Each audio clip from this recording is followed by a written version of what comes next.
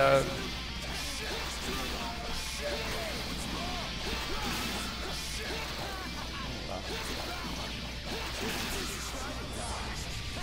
damn, what makes it so hard for you?